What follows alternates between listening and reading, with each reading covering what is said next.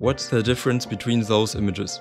One of them took almost 10 minutes to render and the other one slightly over 1 minute. With this one I went even further and was able to decrease the render times to 26 seconds. But how was I able to do that? Well, the first image was rendered using Blender's default render settings. They are optimized to be suitable for many different scenes, but especially in beginner scenes, those settings are a bit overkill. The main setting that defines your render time is the samples count. It's basically how many iterations of the image get rendered to average out the noise of a render. Many beginners think that more samples mean a higher quality image, but that is not really the case case, especially since Blender has AI denoising enabled by default. For many cases, 300 samples are enough. In this render I even lowered the samples to 128 to decrease the render times to 26 seconds. And you can see a difference when comparing each image side by side, but is it really noticeable? Other things you can do to decrease the render times are changing the light path settings to decrease the number of bounces. This stands for how many times a ray will bounce. Here's an example with two mirrors facing each other. By limiting the glossy bounces, you alter the iterations of reflections. Play around with those settings a bit in your scene to find out how much you can decrease the number of bounces. With fast GI approximation, you can compensate for a lack of bounces because you will slightly tint your objects. You can also disable reflective and refractive caustics. Reflective caustics come from light bouncing off a reflective surface like metal. If the reflective objects in your scenes are rather small, you probably won't need them. Refractive caustics come from glass and if you don't have any glass materials in your scene, you also won't need them.